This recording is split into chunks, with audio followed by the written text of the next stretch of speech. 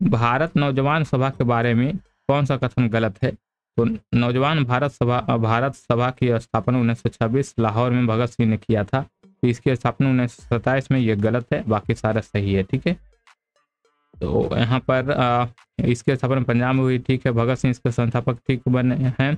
और युवाओं, किसानों और श्रमिकों के बीच राजनीतिक कार्य शुरू किया गया था ये संगठन से, ठीक है?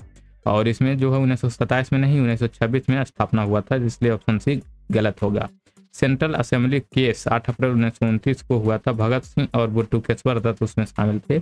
भगत सिंह, राजगुरु और सुखदेव को तेईस मार्च उन्नीस सौ इकतीस को लाहौर जेल में फांसी दी गई थी। पुस्तक why I am an atheist नाम था।